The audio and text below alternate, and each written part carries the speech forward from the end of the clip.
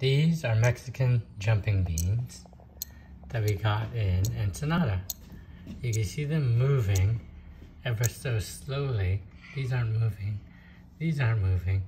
So supposedly there are worms inside of these that turn into moths or butterflies, some sort of flying creatures, and they're they are born inside of these little nutshells.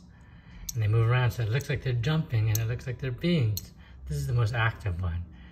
So the lesson we learned is in Ensenada, they were $3 each or two for $5, which means 250 and we negotiated them down to three for $5.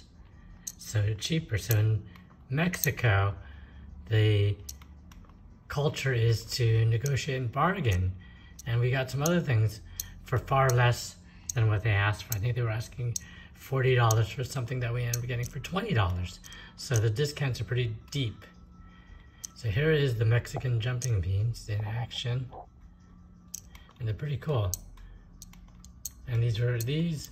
See that one started moving now. So that one's there. Is this moving?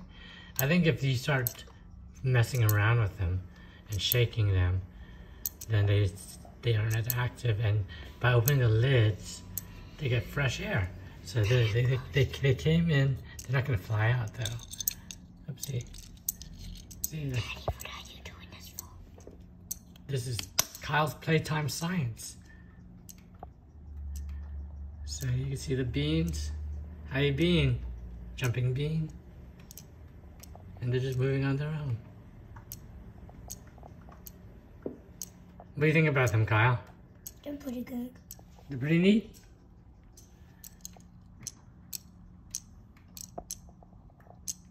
That is the jumping beans. We got them in 2003. Well, we'll see if they hatch, so to speak, or evolve or morph into something beyond just being a jumping bean. I think, yeah, because I've seen these in containers before, now all of a sudden it opens up and there's like a, moth, but it dies. So our goal is to let it come out and then free it.